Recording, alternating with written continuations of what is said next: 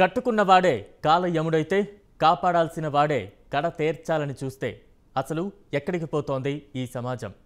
ప్రేమ అన్నాడు పెళ్ళి చేసుకున్నాడు.